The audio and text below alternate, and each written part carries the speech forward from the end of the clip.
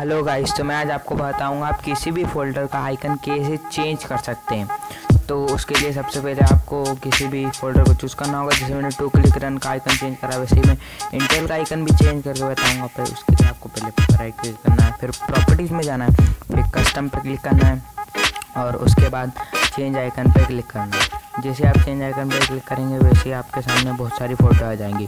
ये बहुत सारी फ़ोटो है जो चाहे मतलब लगभग सारे फोल्डरों के आप आइकन चेंज कर सकते हैं, जितने चाहे फोल्डर बनाए हो आपने। तो इसमें से मैं कोई सा भी एक अच्छा सा आइकन चूज़ कर लेता हूँ। हाँ ये वाला अच्छा लग रहा है। इस पर ओके क्लिक कर देते हैं, फिर अप्लाई। और उस अप्लाई करने के बाद, ओके। अभी जैसे नहीं आ रहा है, तब एक बार बैक करके वापस करेंगे तो रिफ्रेश जैसे आ गया। इंटेल फोल्डर का। आइकन चेंज हो गया है।